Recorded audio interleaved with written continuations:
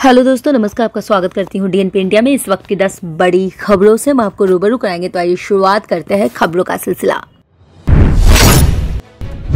प्रधानमंत्री नरेंद्र मोदी ने गुरुवार को हल्द्वानी के एमबी इंटरनेशनल कॉलेज में उत्तराखंड को साढ़े सत्रह करोड़ के विकास परियोजनाओं की सौगात दी है। इस दौरान जनसभा को संबोधित करते हुए पीएम मोदी ने बिना विपक्ष के किसी नेता का नाम लिए जमकर हमला बोला है।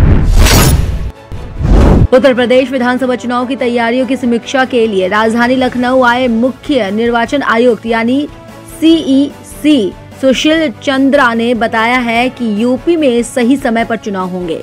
सभी राजनीतिक दल कोविड प्रोटोकॉल का पालन करते हुए समय पर चुनाव संपन्न कराना चाहते हैं।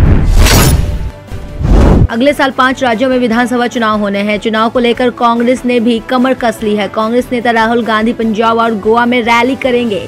राहुल गांधी 15 जनवरी को, पंजाब और 16 जनवरी को गोवा में रैली करेंगे। हालाँकि राहुल गांधी निजी दौरे पर विदेश यात्रा पर चले गए हैं। कीर्ति किसान यूनियन ने आने वाले पंजाब विधानसभा में ना उतरने का फैसला किया है। संगठन ने साथ ही संयुक्त समाज मोर्चा बनाकर चुनाव लड़ने वाले किसान संगठनों से भी अपील की है कि वो संयुक्त किसान मोर्चा की एकता को बनाए रखने के लिए चुनाव में न उतरे। उन्होंने कहा है कि संघर्ष के ज़रिए ही अभी तक संगठन ने तीन कृषि कानूनों को वापस लेने जैसी लड़ाई जीती है। इसे बरकरार रखा जाए। राजीव चौक मेट्रो स्टेशन से गुरुवार रात 9 बजे से यात्री बाहर नहीं निकल सकेंगे। स्टेशन से आखिरी ट्रेन के छूटने तक यात्रियों को प्रवेश की अनुमति होगी। दिल्ली मेट्रो रेल कॉरपोरेशन ने जानकारी देते हुए बताया है कि राजीव गांधी मेट्रो स्टेशन राजधानी का सबसे व्यस्त यानी बिज़ी स्टेशन है और यहाँ हर समय भीड़ भाड़ रहती है। नए साल पर मेट्रो स्टेशन से कनॉट प्लेस की ओर ज़्यादा भीड़ रहती है। कर्नाटक पुलिस ने हाल ही में हुई एक महिला की हत्या की गुत्थी को सुलझा लिया है। पुलिस ने इस मामले में सात आरोपियों को गिरफ़्तार कर लिया है। आरोपियों में मृतिका का पति और बेटी भी शामिल है।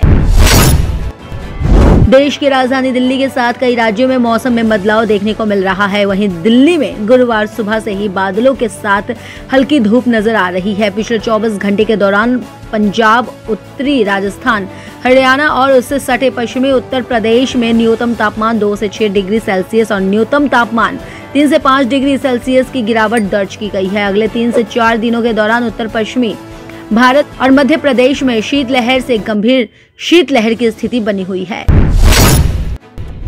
पाकिस्तान के आतंकवाद निरोधी विभाग यानी सीटीडी ने दावा किया है कि, कि उसने उत्तर पश्चिमी खैबर पुख्तनख्वा प्रांत में इस्लामिक स्टेट खुरासान, यानी आईएस के आतंकी समूह के नेटवर्क को नष्ट कर दिया है। पाकिस्तानी अखबार डान की रिपोर्ट के मुताबिक पाकिस्तान के एक शीर्ष सीटीडी अधिकारी ने बुधवार को पिशावर में एक संवाददाता सम्मेलन में कहा है कि आईएसए ने इस साल मई के बाद से खैबर पख्तूनख्वा प्रांत में सक्रिय होना शुरू कर दिया था।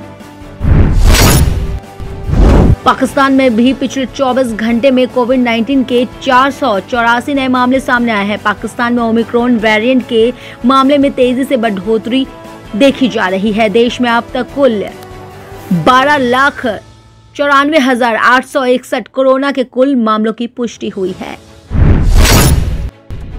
भारत की ओर से फ्रांस से राफेल विमानों की खरीद के जवाब में पाकिस्तान ने चीन से 25 जे टेन सी लड़ाकू विमान की खरीद की है। पाकिस्तान के आंतरिक मंत्री शेख रशीद अहमद ने बुधवार को यह जानकारी दी है अपने गृह नगर।